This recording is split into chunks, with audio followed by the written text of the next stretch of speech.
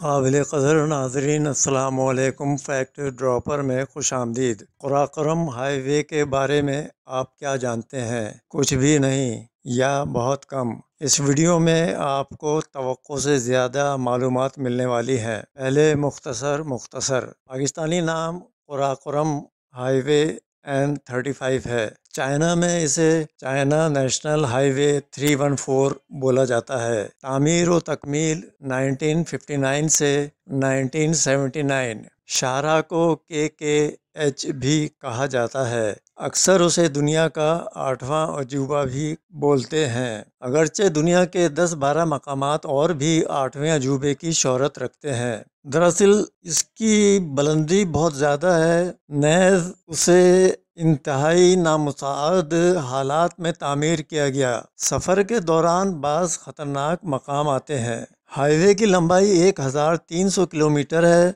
ये दुनिया की बुलंद तरीन पुख्ता शाहरा है। बुलंदी पंद्रह हज़ार चार सौ छियासठ फीट है। खुंजराब पास के ज़रिए हाईवे चाइना और पाकिस्तान को मिलाता है। बाज़ जगह उसे नवा अजूबा बताया गया है। चाइना में उसे फ्रेंडशिप हाईवे भी कहते हैं। शाहरा कराकुरम की तमीर के दौरान दोनों मुल्कों के एक हज़ार से जायद काम करने वालों को जान से हाथ धोने पड़े थे। के के एच की तमीर के दौरान कदीम शाहरा रेशम के बहुत से निशानात दरियाफ्त हुए।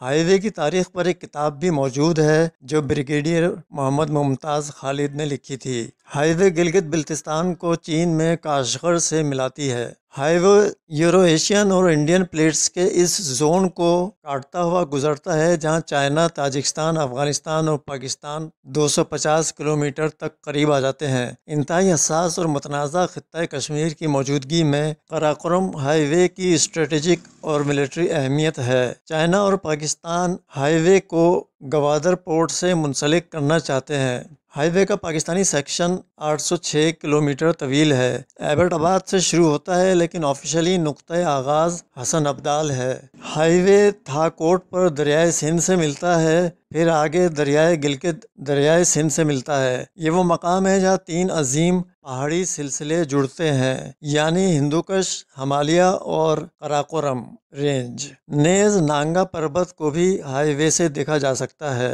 हाईवे गिलगित बिल्तिस्तान से गुजरता हुआ दरियाए हुंजा के साथ सहर अंगेज नगर और वादी हंजा को छूता जाता है। बहुत से बुलंद तरीन पहाड़, झीलें और ग्लेशियर बरह रास्त इस मकाम से देखे जा सकते हैं। बिलाखिर हाईवे पाक चाइना बॉर्डर, यानी खुंजरा पास तक पहुँच जाता है।